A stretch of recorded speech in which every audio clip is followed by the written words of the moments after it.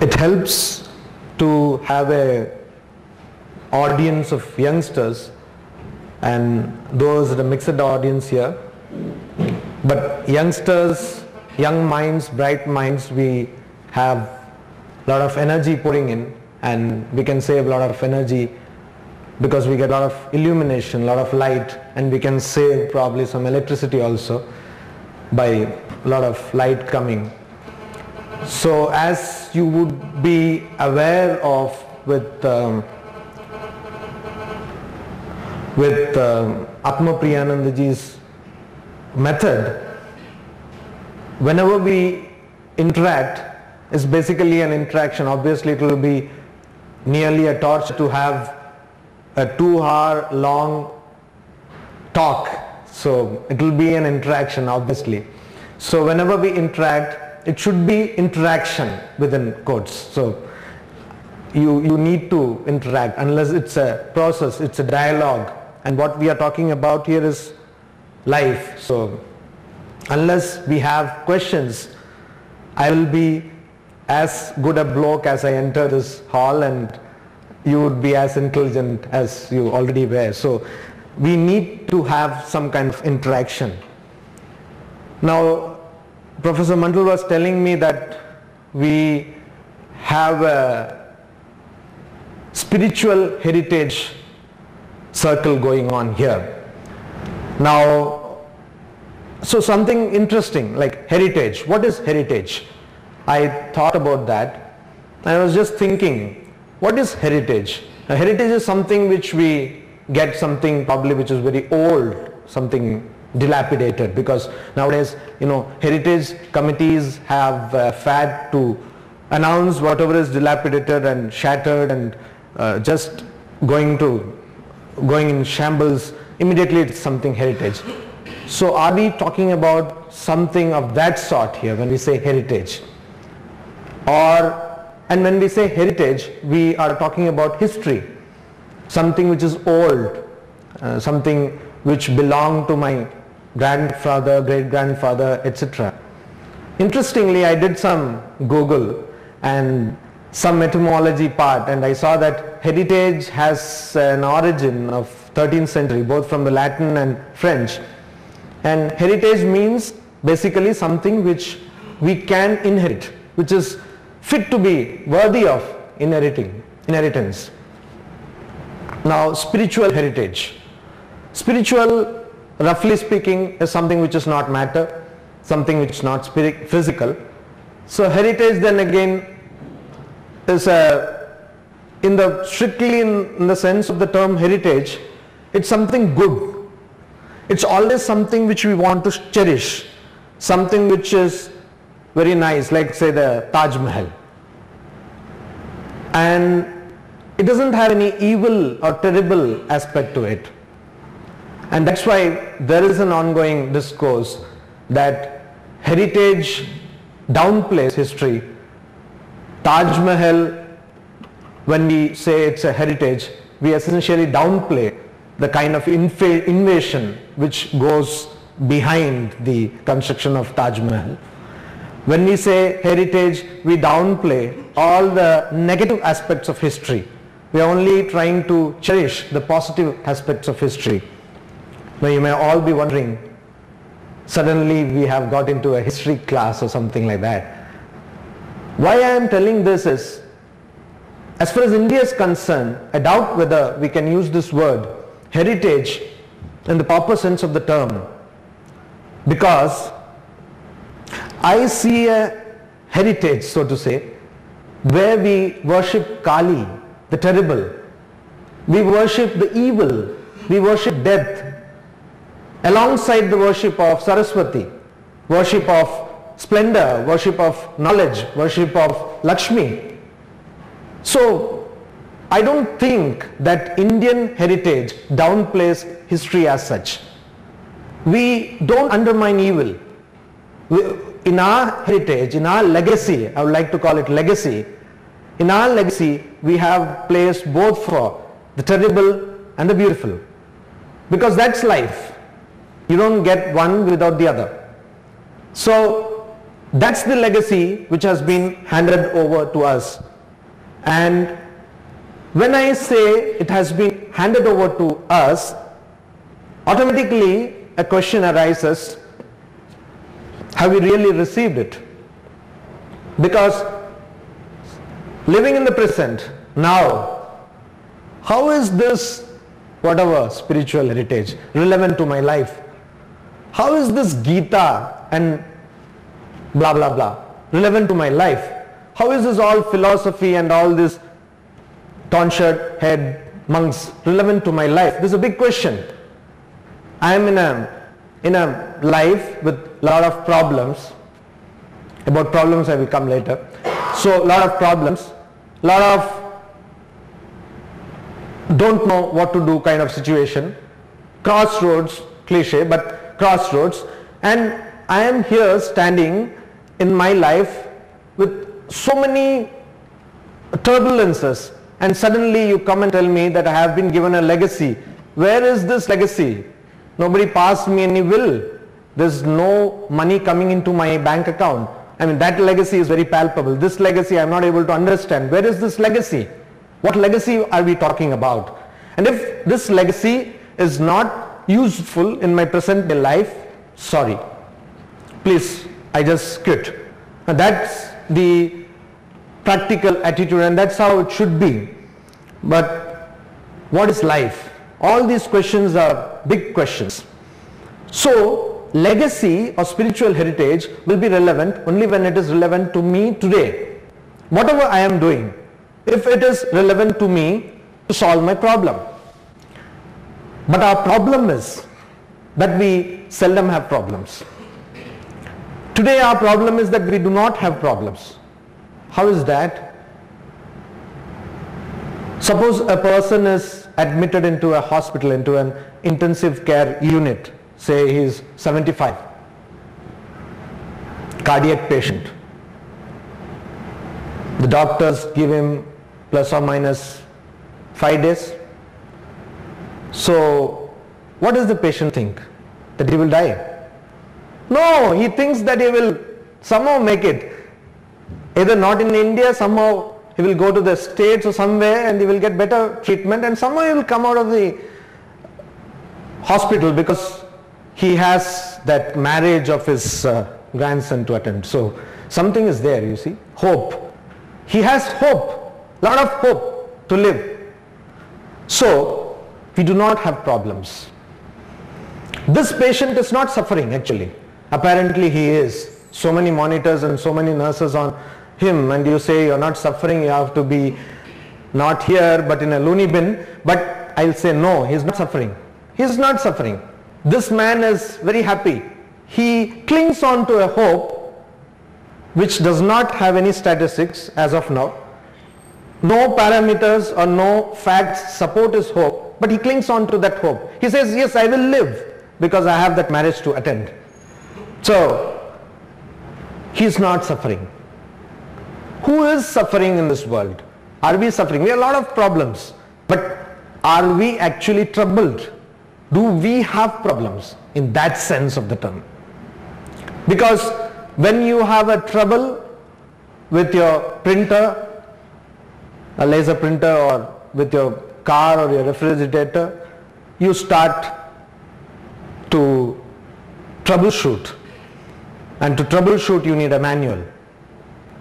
But if you don't have a trouble, most of us we don't even open the manual. I mean it comes with all the packaging and it lies in the box. But once we have trouble, we seek troubleshooting and we seek the manual. But our problem is we do not have troubles. Religion or spirituality begins when trouble begins. And trouble not externally but internally in your mind. When you sense trouble, when you perceive suffering, when you understand, when you become aware of suffering. And remember, believe me, you need not be actually suffering to become aware of suffering.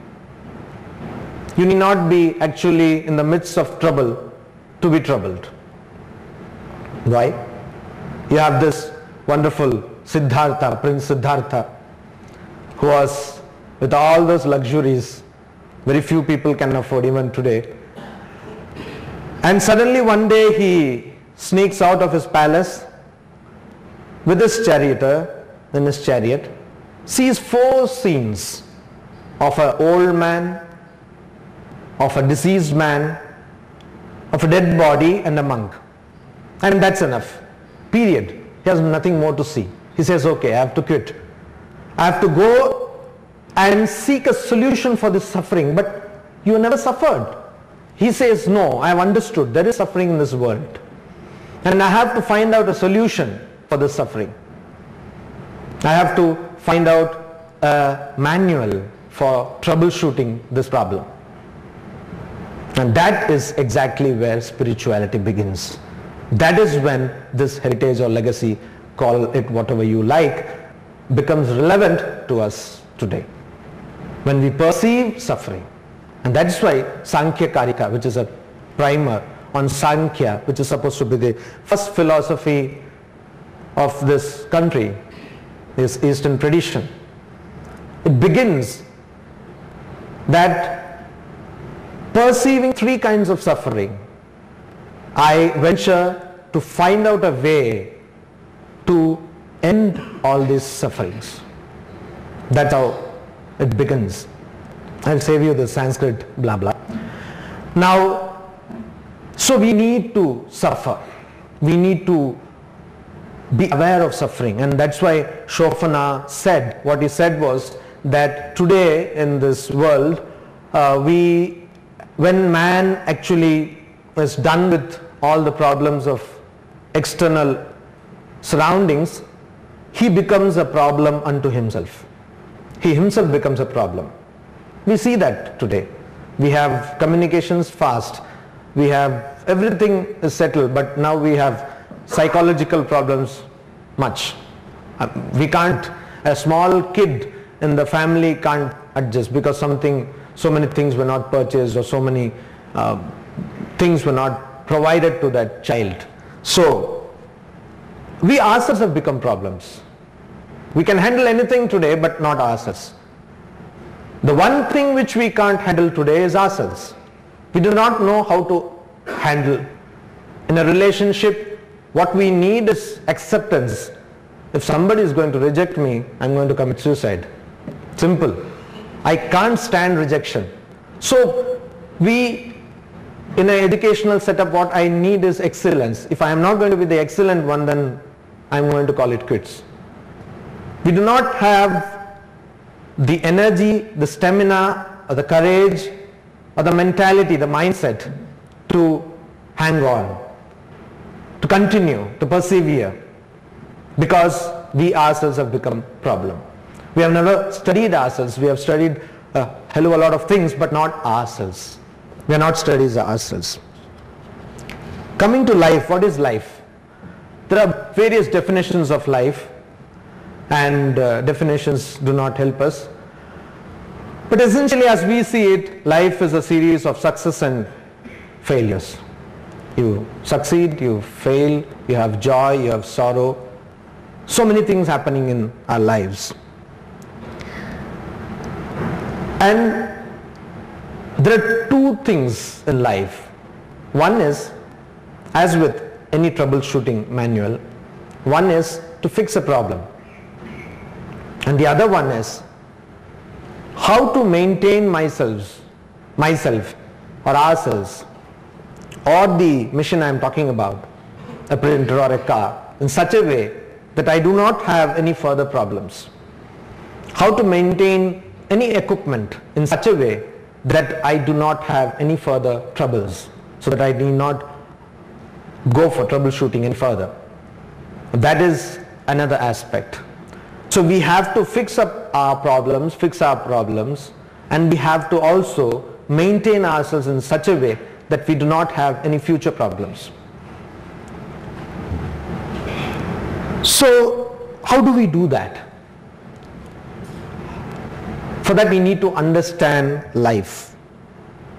We need to also understand that we have been given certain manuals like the Bhagavad Gita or the Upanishads or the Bible or the Quran. We have been given these wonderful manuals to troubleshoot and maintain ourselves. And we have to do that now. Why? Because the best place where you should keep your computer manual is besides your computer. The best place where you should keep your car manual is inside your car. And the best place you should keep your refrigerator manual is near your refrigerator because if you are driving and suddenly something goes wrong, then what do you do if you do not have the manual nearby? So we need these manuals now when we are in the heat of the moment, contrary to the popular perception that, okay, chalega, baad mein pad lenge. We will, uh, okay, spirituality, okay, we will read it afterwards. Gita, oh, abhi to bahut kaam hai. I have to like build up my career and I have to achieve so many things. But you're wrong. Because these things will help you achieve them better. These things will, these manuals will actually help you fix your problems which you are now facing. And what will happen if you read them post-retirement? You will only say, aha, इसमें ऐसी बातें में लिखी हैं I didn't know that. Otherwise I would have read them earlier. Oh. So you see, it's now that you are into so many relationships. It's now that you are being rejected by some. It's now that you are an office setup, you're working or you're an entrepreneur. It's now that you're facing the problems and it's now that you need this troubleshooting manual. And that is why this legacy becomes relevant to us today.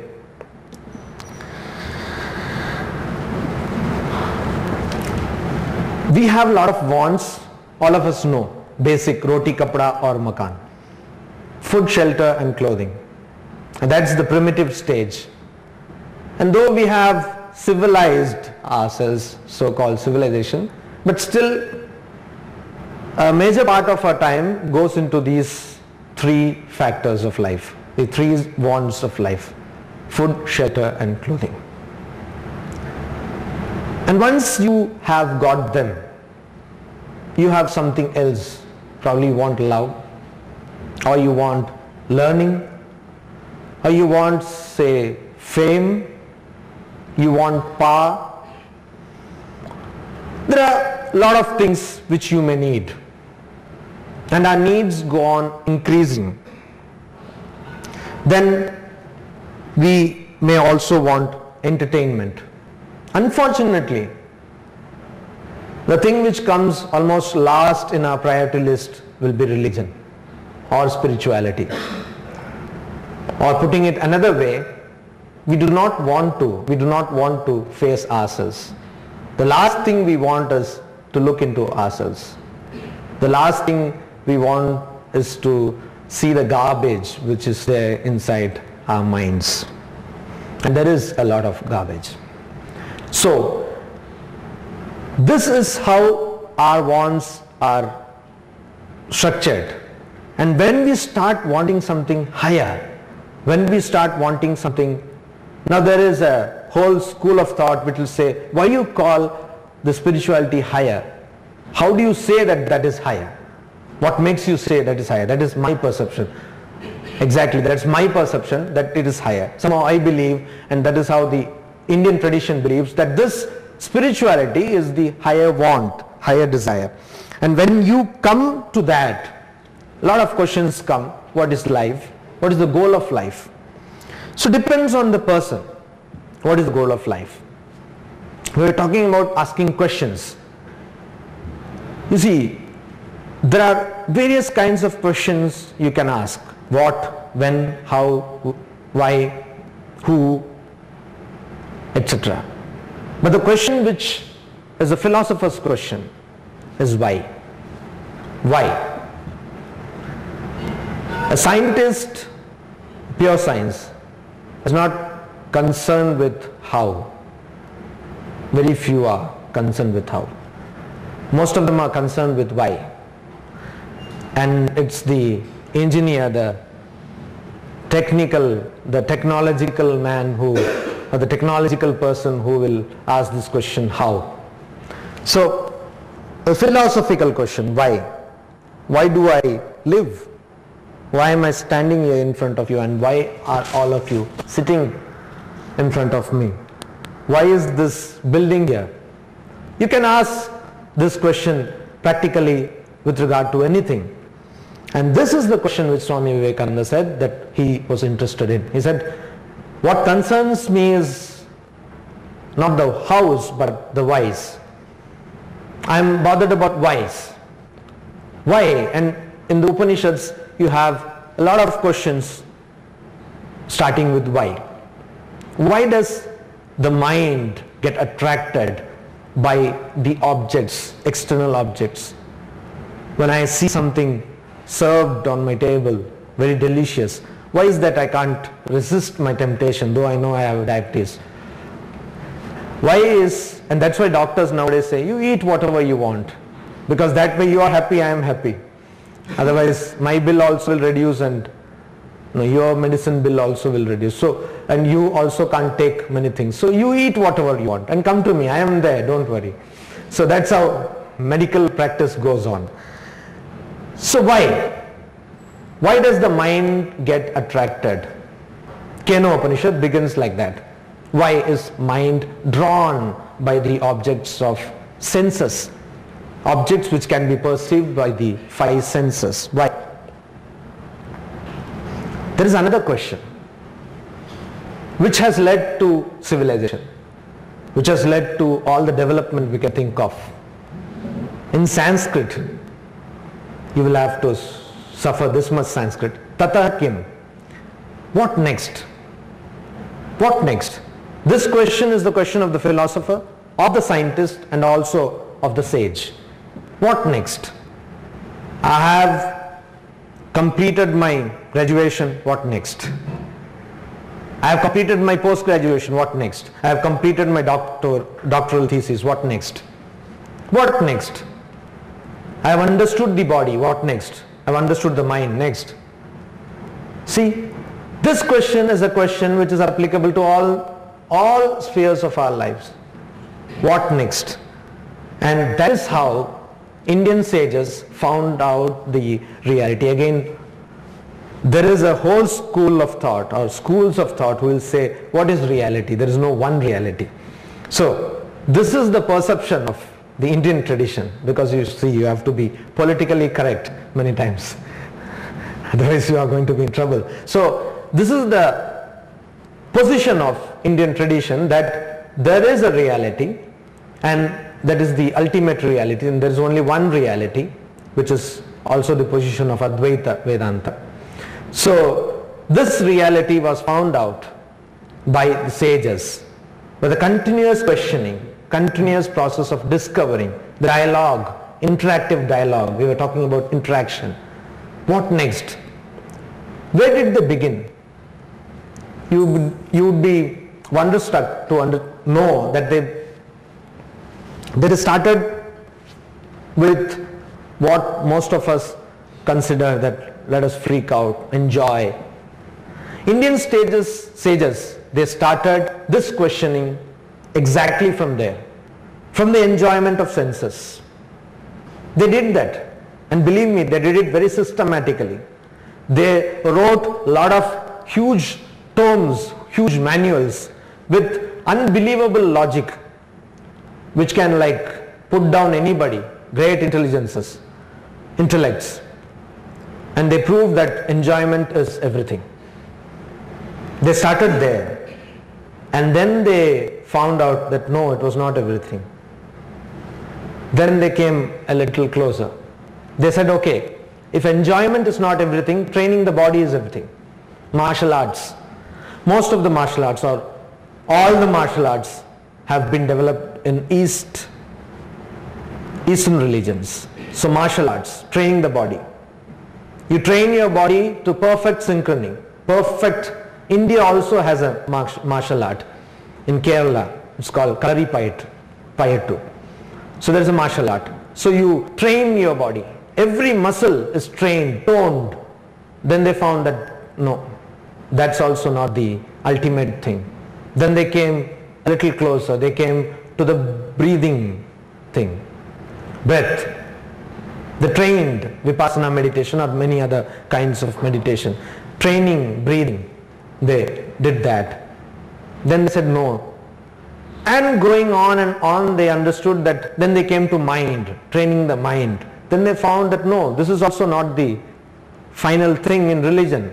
Then they came out of this what we will call it as body-mind complex. They said there's something beyond this. Interestingly, some neurologists, neurosurgeons, neuroscientists have also arrived at the same conclusion, coming from a different channel of course, not using Upanishads or something, but using the laboratory. They have found out that body is not the locus of an individual.